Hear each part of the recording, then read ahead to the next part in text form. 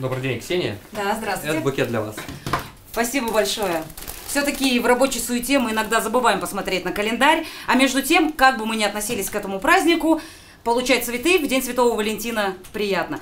В Химках тоже его отмечают, и даже со школьной скамьи. Итак, дети, что такое День Святого Валентина? День Святого Валентина – это день влюбленных. В школе номер 14 установили почтовый ящик для любовных посланий. Готовят валентинки и самые юные ученики. Чаще всего дарят их друзьям и родственникам, но у кого-то разворачиваются настоящие любовные драмы. В том году мне два мальчика дарили валентинки. Когда они мне подарили несколько валентинок, я им говорю, ну, только не на перегон не надо. А они сразу стали отрывать листочки, писать сердечки и, и мое имя.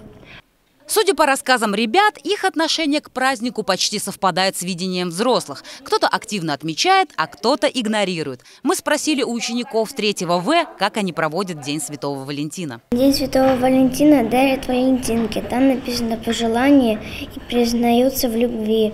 Еще на День Валентинок э, ну, дарят не только ну, сердечки, но и цветы. Я подарил Вике Валентинку. Часто даришь валентинки? Редко. А чем Вика зацепила? Не знаю, она красивая. Чем займешься в, в этот день? Буду кушать конфетки. А, которые подарят, естественно. Нет, я с собой принесла. Это, мне кажется, день девочек, и нужно дарить а, валентинки девочкам. Как должна выглядеть настоящая валентинка? Ну, она должна быть в виде сердечка, очень красивая и, ну, сделанная с душой. Что нарисовал? Я нарисовал с одной стороны цветы, а с другой сердечко. Как думаешь, Катя оценит?